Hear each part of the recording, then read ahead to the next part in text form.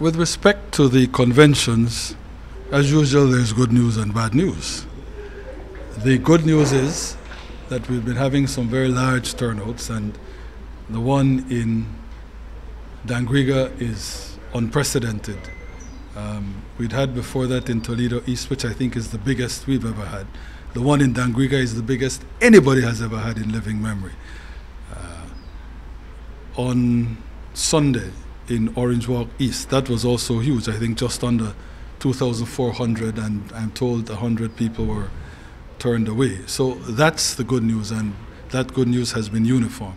The bad news is, of course, that as is always the case with these conventions, there are hurt feelings uh, with respect on the part of those that lose.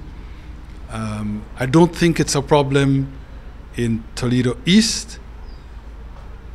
I don't think it's an insurmountable problem in Dangriga, but I have the sense that it's going to prove well nigh intractable in Orange Walk East. I get the sense that the losing camp is extremely upset and that it is making all sorts of allegations upon which I will not comment now or if those allegations become public, except to say that naturally uh, that is not good for the party.